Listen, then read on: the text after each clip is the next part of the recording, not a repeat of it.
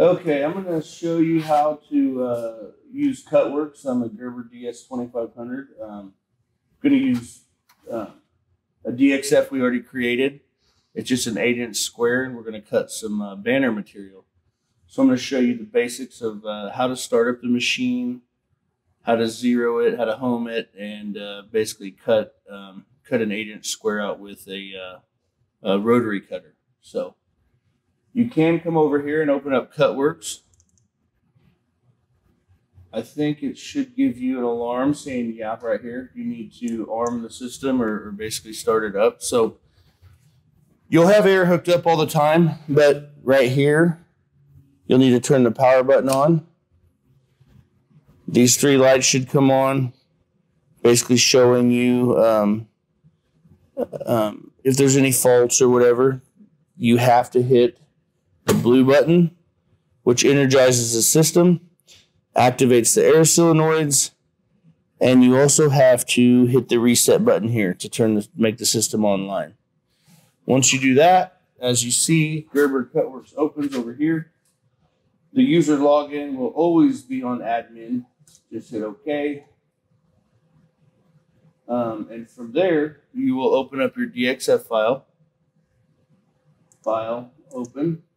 Ours is in downloads. Um, more than likely, yours will be in like a uh, USB drive or some file that you have saved somewhere or got from the digitizer table or wherever. So we're going to open that. Right here where it says DXF import options, select the, um, if you're in millimeters, select millimeters, yada, yada, whatever. I mean, it's there. We're always going to be in inches for the most part.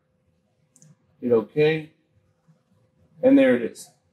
It's always going to put that particular DXF uh, in the bottom left-hand corner, which is your XY0. Um, so we have our system energized. We have air pressure to both uh, pin, tool holder one, two, and three, which is also the pin. Um, there's no faults. There's several different um, e-stops on the machine. There's one here.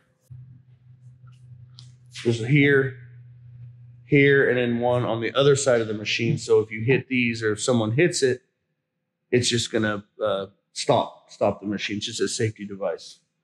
And the laser here, that's how we set our XY0 for when we get ready to cut. Um, so there's several functions here, nesting, and all kinds of stuff you can go through. We don't need to get into that. We're talking basic operation of the machine, the tool path, and stuff like that. So we open our DXF. These main buttons here, home machine, map layers, and cut job.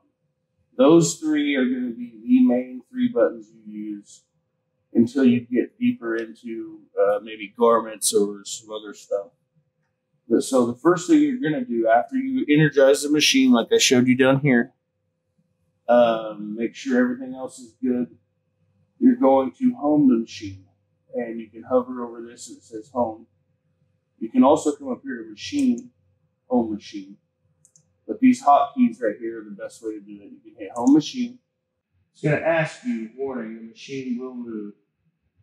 Do not make X clearing move. Do not make Y clearing move. That means if you are on, if there is anything over here on this side of the table, whether it be a box or something, if you click those two buttons, it's going to not move this way before it goes back home. We don't have anything on the table, as you can see, so we're not going to click these, and we're going to hit OK.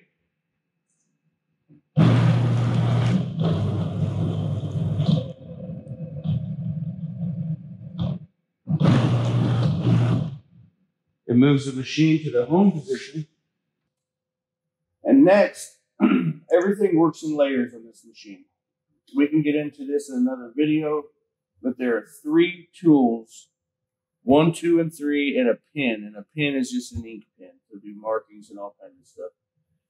We are going to use the roller cutter, which is always in, I believe, number one, which is, yeah, which is always in number one. See here, we have no tool. You can right click here. Like I said, these three buttons here. This one here is your layer button. Click on it. It says no tool. It has no tool attached to it. Right click wheel cutter.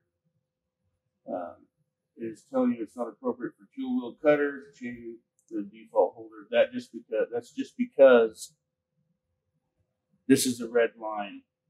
That doesn't matter. It goes off of basically layer colors. So change everything to a wheel cutter because it's the only thing we're using. You can change your speeds here, stuff like that. Um, we're going to leave it at 10 just because. And I'm just going to add this in here before you even start. Always remember to turn on the vacuum system before you start cutting. I did that before. And it does not turn out well.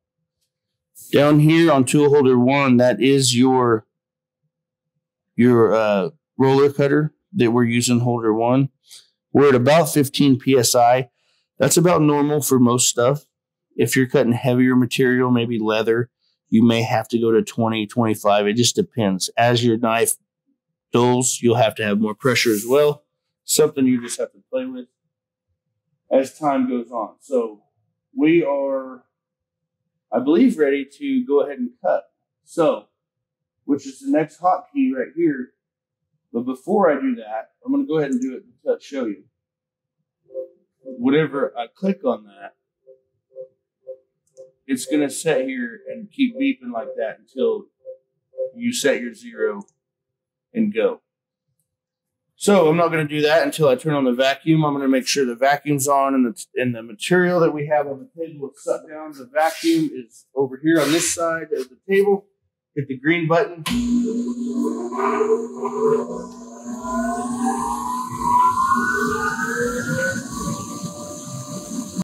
And I'm not sure if you can even hear me, but just make sure the material, if, you if it's, if it's uh, wrinkled a little bit, you can kind of line it out. Now for what we're for what we're doing, it doesn't matter, but it wants us to home the machine. So we're not home the machine, set zero. So we're going here to cut, and it's gonna basically over here on the machine, it's gonna act tell us to jog to the start point. There's a button on the side you have to hit to jog over, and you use this little red laser. Now, I forgot to mention, you can line your material up like this by coming down here and see how that laser is staying right there on the edge of that line. So it's at a good spot. Same here. So we know our material is square with the with the world. But for this instance, it doesn't matter. We're just going to come right here and we're going to cut an 8 inch square. It tells us to jog to the start point. So we jog to the start point.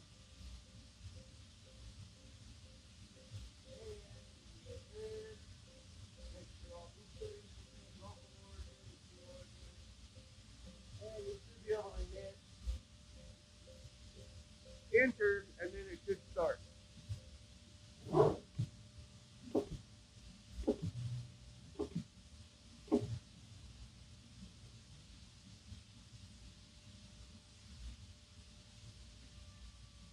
For the sake of talking, I'm turning that off. You don't have to turn it off right now, but so basically, there's our eight inch square. Um, like I said earlier, there's several things. There's nesting features, um, all kinds of different things out there you can play with as far as where it starts cut, how it cuts, um, all kinds of different blades. But that's all stuff you can learn in different, uh, you know, different Google searches or the, the documentation we have and stuff like that. So, um, I think that's it for this one, and thanks for watching.